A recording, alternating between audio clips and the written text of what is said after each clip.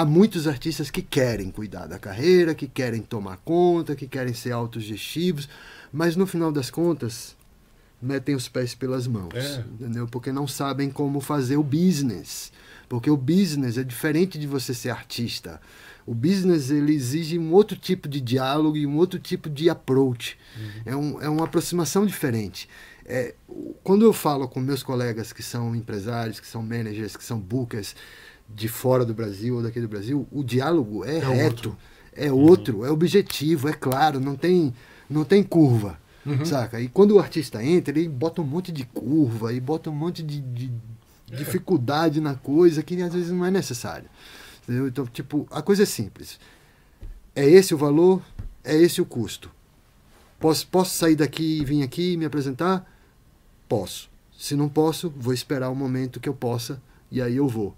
Tipo, é, não vou citar nomes, mas, por exemplo, acabei de passar por um, um, um exemplo de um artista que, que foi convidado para tocar num bu- blockbuster festival e tudo mais. Aceitaram tocar, eu não fui contra, porque não Esse sou festival no Brasil ou fora? fora.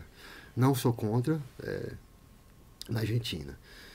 É, tocaram e tudo mais. Só que eu tenho minha opinião sobre esses festivais. Se você é um artista pequeno, que você não tem uma gravadora grande, se você não tem um background grandão ali por trás de você, se você não tem o lobby sendo feito por trás de você, Uhum. porque você precisa de um lobby para acontecer. Se você não tem aquela cama feita atrás de você, você vai tocar meio-dia para Pra 50 ninguém. pessoas E ninguém vai falar de você. Ninguém vai falar de você. Sim. Você não vai conseguir nem tirar uma foto decente para mostrar que você tocou no Exatamente. negócio. Entendeu? Então, tipo, eu não quero fazer isso. Sim. Eu prefiro esperar um ano e botar o Você meu quer uma artista. pro E E artista. botar o meu artista tocando num horário legal. Eu já vi amigo meu passar por isso no? Lollapalooza aqui. É, é esse ponto aí que eu quero chegar. Mas é.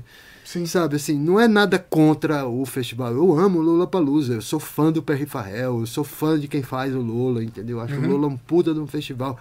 Mas é um festival boutique, entendeu? Um É, festival sim. que, poxa, é pra, é pra vender, é marca, é dinheiro, é um monte de coisa que tá envolvida e a música tá no planinho lá Lá embaixo. embaixo. Mas, obviamente, o público compra a música. O público não compra, a marca. é, é. O público compra porque ele é apaixonado pelo artista. Então ele vai, tipo, você pega, por exemplo, Blink 182. É horrível. Sim. Desculpa. Sim. Quem é fã, perdão. Mas a banda é horrível. Bruno tá certo, é tá? horrível. É horrível. Agora, tem nostalgia, tem história, marcou uma época, as pessoas são fanáticas. Então eles movem uma massa. Sim. A mesma coisa o Limp Bizkit. É horrível também. Pô, eu, peguei, eu vi o set list que os caras estão tocando na, na América do Sul. Quatro, cinco covers, brother. Tipo, peraí, é uma banda ou é um- uma banda de baile?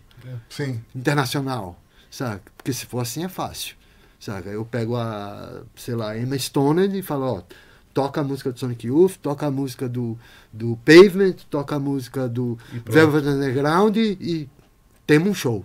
Uhum. Aí é fácil, sabe?